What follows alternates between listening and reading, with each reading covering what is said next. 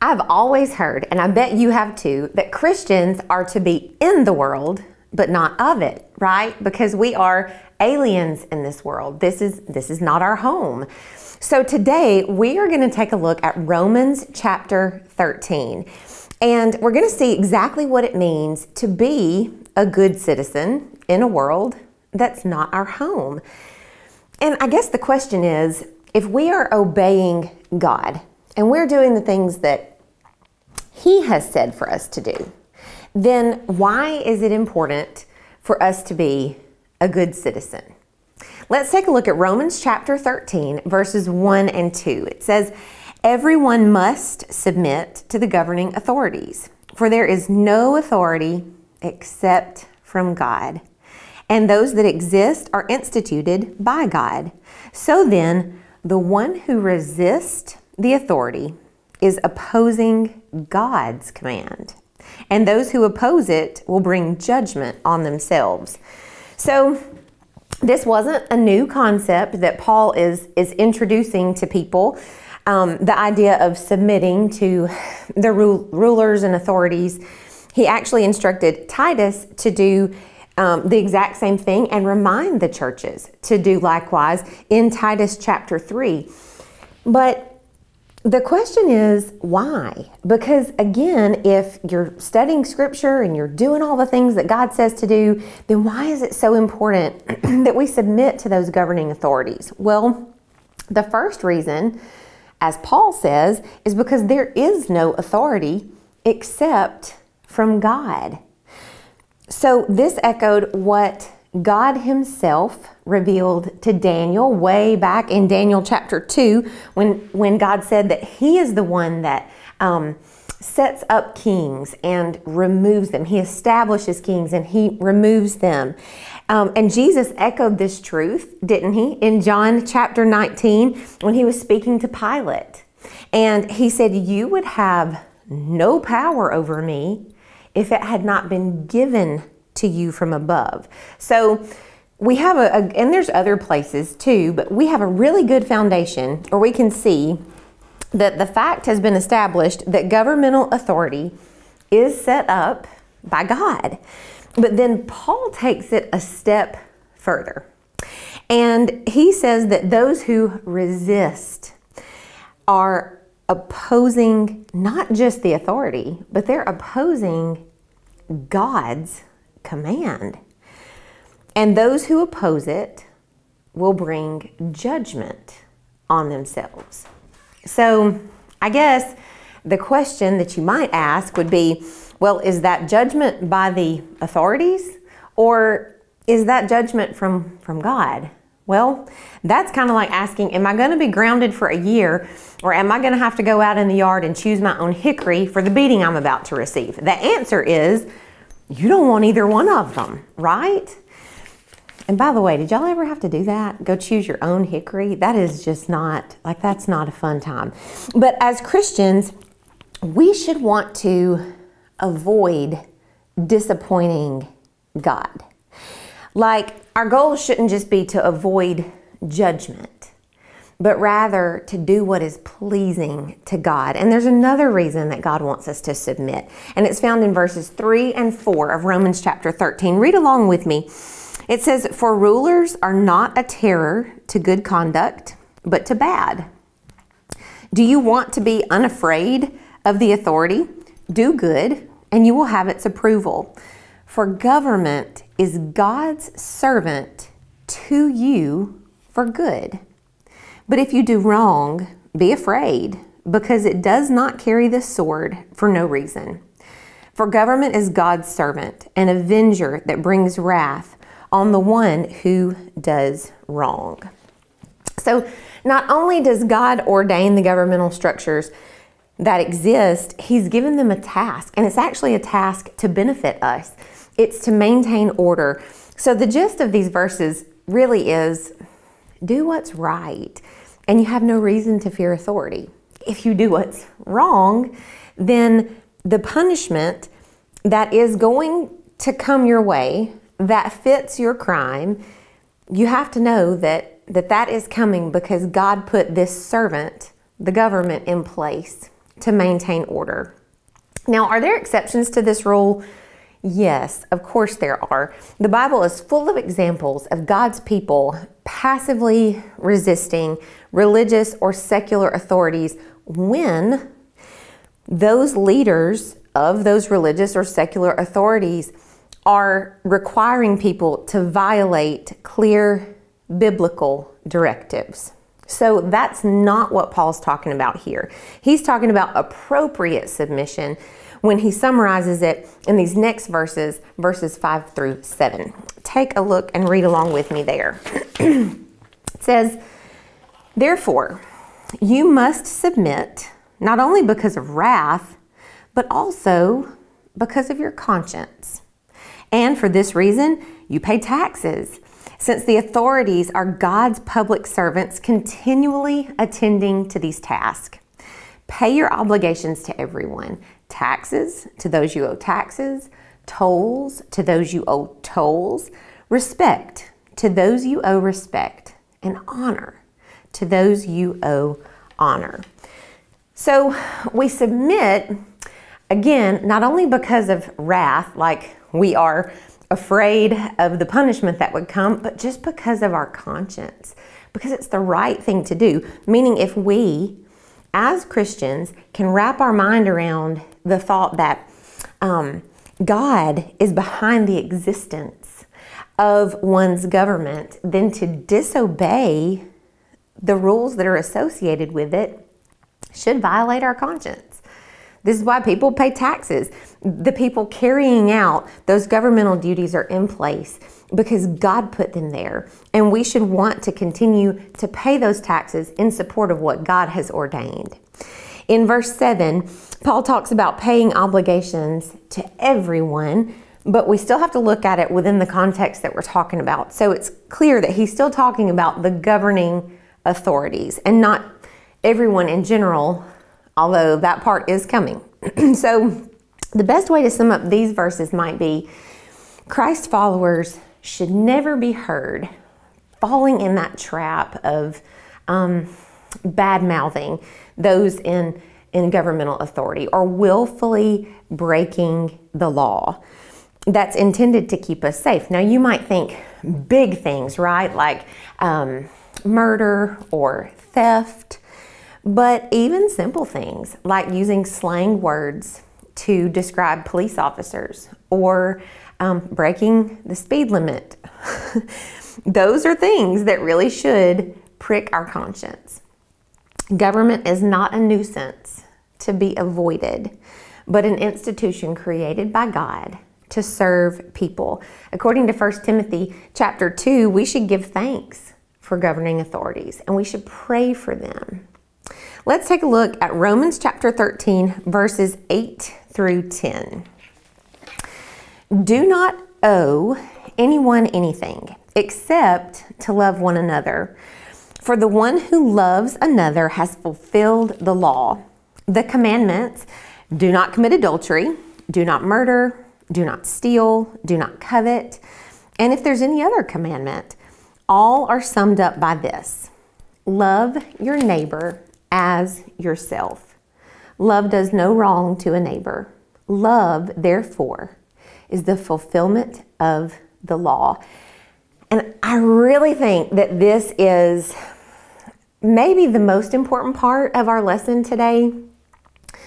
Um, Paul shifts gears here just a little bit in these three verses. As a matter of fact, the subheading in your Bible, um, we've probably started a brand new one, right? And it either says something like love fulfills the law or love, our primary duty.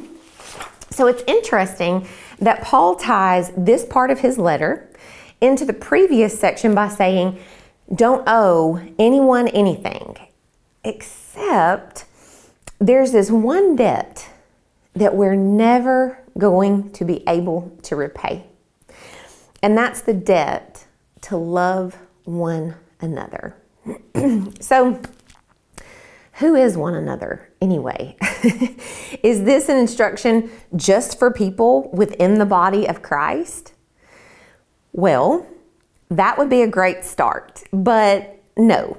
He goes on to talk about loving your neighbor, and that simply means any other human beings in your vicinity. The same word, neighbor, was actually used by Jesus in the story of the Good Samaritan. So we know that doesn't necessarily mean the person who lives next door to you um, or even your coworker at the cubicle beside you. It's anybody that comes along your way, that God has brought your way and into your circle of influence. So Paul's been talking about obeying the law, uh, being a good citizen, and then I can almost picture him like if he had been speaking this instead of writing it. I can picture him looking right into the eyes of those he is speaking to and saying, What I'm trying to say is this just love. Love everyone around you like you want to be loved. Love is never going to hurt anybody. And it's the only way to fulfill the law. But how many times have you heard this phrase? It's a free country. People say that all the time, don't they? Hey, it's a free country. And and most of the time we don't use that phrase um, like at daybreak when the sun's coming up, we've got a nice warm cup of coffee in hand. We're looking out the window in total peace and tranquility, and we say, oh, it's a free country. No, that is not how we normally use that phrase, is it? Most of the time when we say it's a free country, it's being said when something we are doing has the potential to hurt or to be unloving towards someone else. So here are some examples. Your 19 year old who is still living under your roof comes in after 2 a.m. when curfew was midnight. He's technically an adult. It's a free country. Um, a woman who has life inside of her with a heartbeat and everything walks into a doctor's office and ends the life of her baby because it's a free country. You know that drinking that second or third or fourth alcoholic beverage will very likely cause you to lose control of your speech or your actions or create a stumbling block as a witness for somebody, but it's a free country.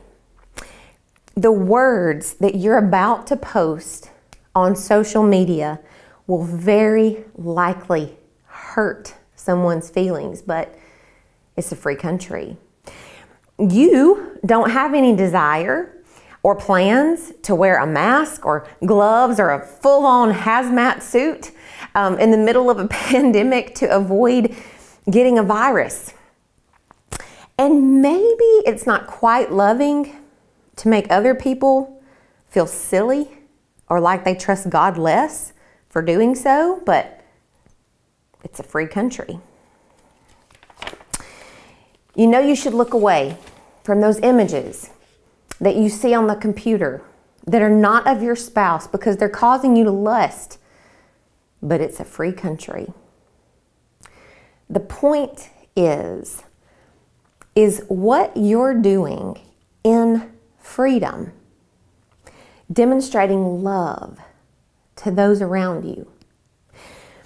The point at which our freedom in society intersects with love for those around us. It is at that exact point where Paul puts a stake in the ground and he says, Go the direction of love. And here's why. Let's look at verse 11 in chapter 13. Besides this, knowing the time, it is already the hour for you to wake up from sleep.